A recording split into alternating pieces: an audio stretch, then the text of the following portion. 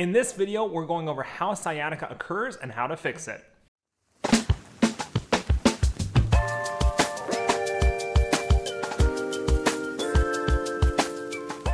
If you've heard the terminology sciatica before, we really need to define what that means. So sciatica is a type of pain that comes from the sciatic nerve when it leaves our back or in our hip.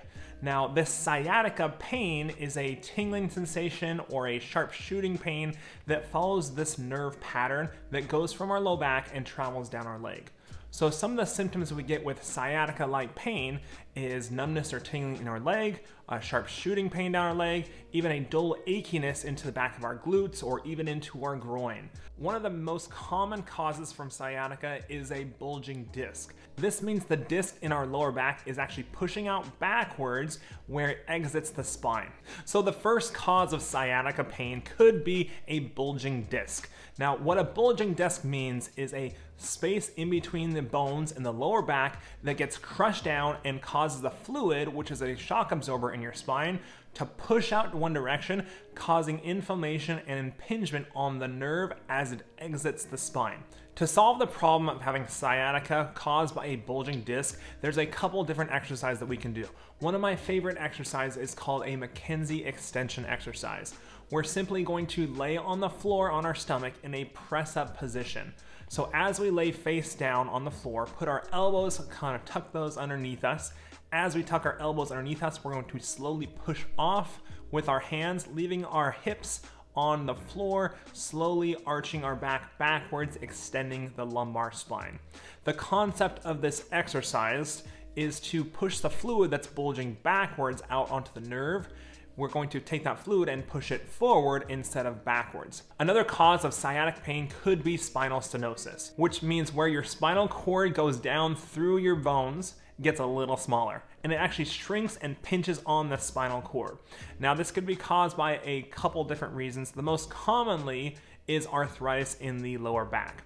When we have two joints that press together a lot and there's not a lot of space between the bones, it will actually cause the bones to grow extra bone and make that canal where the spinal cord sits a little smaller. If we're standing up and it hurts more, that's gonna be a more common issue in spinal stenosis. So in order to get away from this pain, we're going to simply lean forward while supporting our arms across the back of a chair or a sofa to decompress and open up the spine in the back.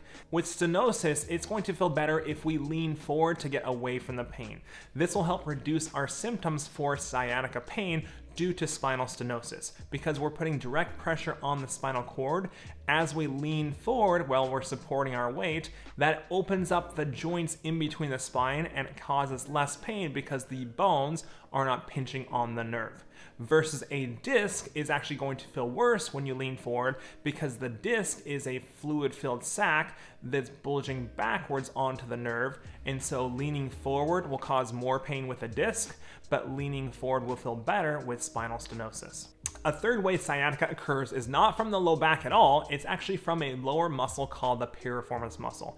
This is also known as piriformis syndrome, where the muscle in the back of our hip gets too tight and puts direct pressure over the sciatic nerve. Now, the sciatic nerve runs from your lower back down through your pelvis and it goes underneath this muscle. So when the piriformis muscle is tight and it puts pressure on that nerve, it will cause that tingliness or radiation down our leg, and it's going to be worse, especially at night when we are at rest. There's an easy way to stretch the piriformis muscle so by simply sitting in our chair, putting one ankle on the other knee, and as we sit up straight, we're going to push our belly button down and puff our chest out. With this stretch, we should feel an aggravation or more symptoms in the back of our hip with the knee that's bent. For example, as I stretch out the piriformis muscle on the right side where I'm getting my sciatic pain, I'm going to put my right ankle on my left knee.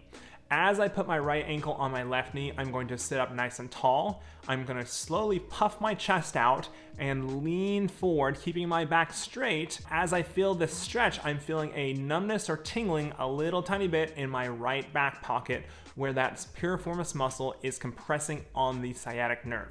We are stretching this muscle out. It's okay to have symptoms while you're doing the stretch, but as we relieve the stretch, it should relieve some of the symptoms in our sciatic nerve and cause less of that pain and radiation down your leg. These are the main reasons why we have sciatica pain.